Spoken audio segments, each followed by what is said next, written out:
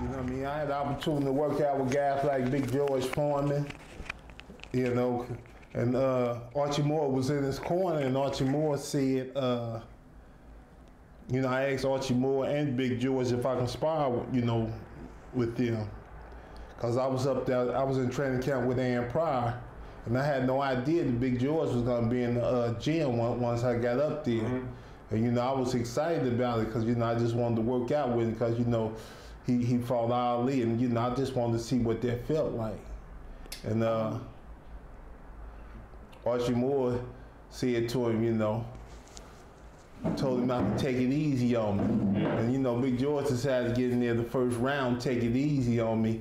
And I was able, you know, to put combinations and just, you know, I was touching him pretty good.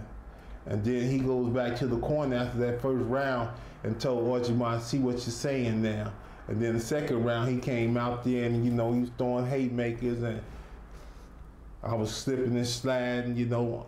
I, was a dancer. I always was on my toes and everything. And you know, Big George was missing me by this much, but still I felt the force and the wind on the punch. I felt like, man, this guy hit me, man. You know, he might slow me down or something, but he never could get that close. I was I always kept him at range because of my ability to, to move and in and out. I think I saw one of your fights that he actually was a.